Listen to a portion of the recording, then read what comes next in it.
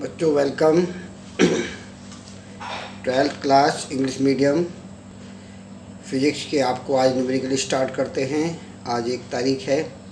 आज न्यूमेरिकल शुरू करेंगे, आज ही न्यूमेरिकल समाप्त कर देंगे, ठीक है? ये चैप्टर का नाम है electromagnetic wave E M W electromagnetic wave lesson thirteen है आपका। और ये एक तारीख है, एक सितंबर। तो पहला क्वेश्चन देखेंगे the amplitude, amplitude of electromagnetic, uh, eh, electromagnetic field of a plane EMW is equal to E naught 150 Newton per coulomb and f 50 Hertz. Find the value of amplitude of oscillating magnetic field B naught and uh, omega naught of the of the wave. Okay. अब हमें इसमें ये 2000 2014 में आया 2016 में आया, दो साल क्वेश्चन आया हुआ है, ये इंपॉर्टेंट क्वेश्चन है। गिवन दैट ये दिया हुआ है ईज कर टू 150 न्यूटन पर गुलाम है और लाइट की वेलोसिटी हम जानते हैं three into ten to power eight होती है तो हम फार्मूला जानते हैं B naught is equal to E naught upon C E naught की value 150 fifty upon three ten to power eight इसको ऊपर ले जाएँगे थ्री से काटेंगे fifty ten to power minus eight tesla हो गई। तो ये हमारी इसका मैग्नेटिक फ़ील्ड निकाल, निकल गया magnitude of the magnetic field अब आपको एंगुलर फ्रीक्वेंसी ओमेगा निकालनी है two pi F two pi F two pi pi की three point one four into fifty three three one four radian per second अर्थात three fourteen radian per second okay अब question चलते हैं next अगला question है इसमें देखेंगे।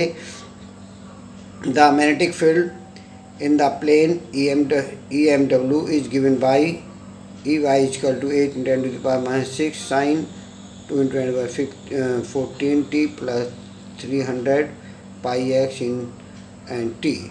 Find the wave uh, wave of equation length आपको निकालनी है given that B Y is equal to this आपको ये इक्वेशन गिवन है इसकी स्टैंडर्ड वैल्यू है B Y is equal to B naught sine omega T plus K X B naught की value ये ओमेगा की वैल्यू ये, और के की वैल्यू ये। तो हमने two pi upon lambda is equal to three hundred pi two pi T upon ये हमारी होगी। इससे हम लेमडा की वैल्यू निकालेंगे। Two pi upon K two pi और के की वैल्यू रख देंगे। तो ये हमारी इससे काटेंगे तो हमारा आएगा कितना? वन फिफ्टी वन फिफ्टी को डिवाइड करेंगे तो zero point zero six seven meter आ गया। अब हमें मेरिट फ़ील्ड की मैग्नीट्यूड निकालना एट इंटू सिक्स ये हमारा मई मई टूट का हो गया।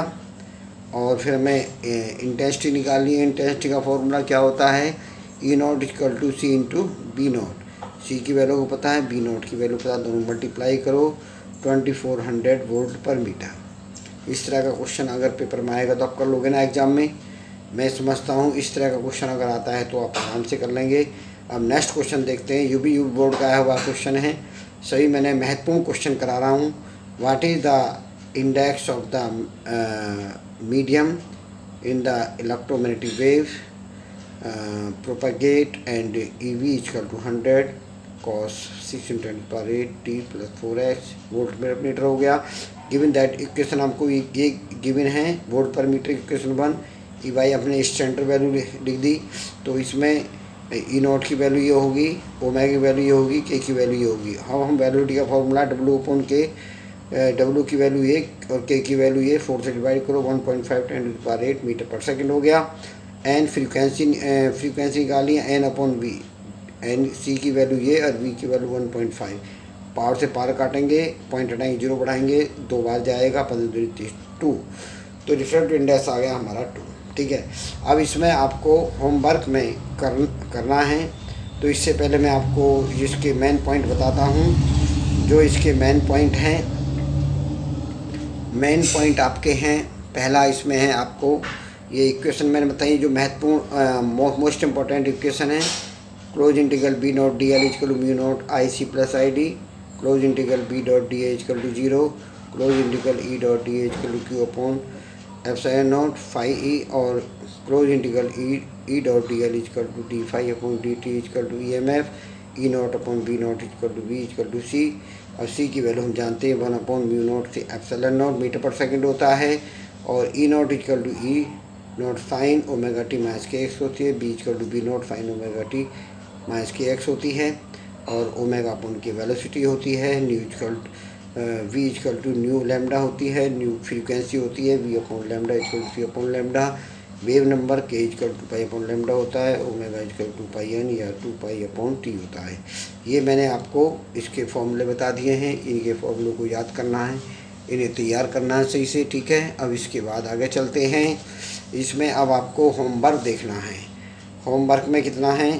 कंप्लीट वर्क करना है और learn the Maxwell equation. Maxwell equation को याद करना है, ये आपका आज का होमवर्क ऐसे अच्छी तरह आप तैयार कर लेंगे, ओके? ओके।